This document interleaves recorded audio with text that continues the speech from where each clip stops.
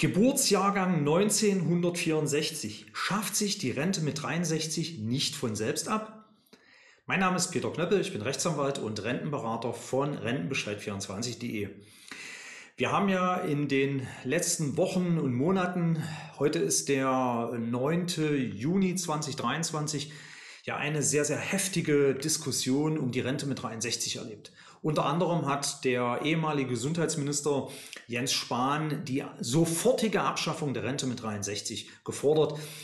Er hat mit der Rente mit 63 die Altersrente für besonders langjährig Versicherte in der Version, die wir zum 1.7.2014 kennen, sicher gemeint. Das ist die Altersrente, die es damals für den Geburtsjahrgang 1952 schon mit Vollendung des 63. Lebensjahres äh, möglich war. Aber dazu musste man dann auch die entsprechenden ja, Wartezeitjahre, 45 Jahre, nachweisen. Und deshalb heißt auch diese äh, Rente mit 63, Rente mit 63, weil sie genau für diesen Geburtsjahrgang 1952 damals möglich war, danach eben nicht mehr. Und jetzt stellt sich natürlich die spannende Frage, ähm, ähm, ja, lieber Herr Spahn und andere führende Politiker, vielleicht wissen Sie es ja gar nicht, aber können Sie sich vielleicht vorstellen, dass sich die Rente mit 63 nicht von selbst abschafft? Ja, meine Damen und Herren, das ist relativ eindeutig. Die Rente mit 63, so wie sie als politisches ähm, Schlagwort seit 2014 bei uns bekannt ist, schafft sich mit dem Geburtsjahrgang 1964 de facto von selbst ab. Wer 1964 geboren wurde und die 45 Jahre Wartezeit nachweisen kann, der kann erstmals im Jahr 2029 mit Vollendung des 65. Lebensjahres in diese ominöse Rente mit 63 gehen.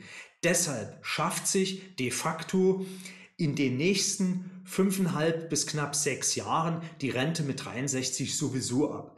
Deshalb, meine Damen und Herren, auch führenden Politiker der führenden Parteien, sie führen aus meiner Sicht eine Scheindiskussion um diese Rente, denn wir wissen alle, dass Geburtsjahrgänge zum Beispiel 1960, 1959 oder 61 gar nicht mehr mit 63 in diese Rente gehen können, sondern die müssen deutlich länger warten, denn die äh, Renteneintritts Alter oder die Renteneintrittsgeburtsjahrgänge äh, ähm, wachsen sozusagen immer mehr an.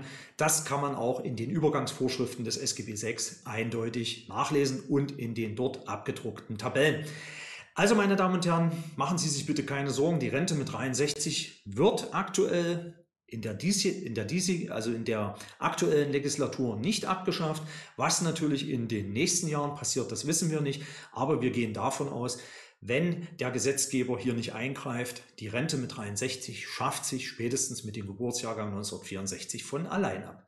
Näheres zu diesem Thema finden Sie wie immer auf rentenbescheid24.de. Ich wünsche Ihnen eine rentenstarke Woche. Ihr Rechtsanwalt und Rentenberater Peter Knöppel.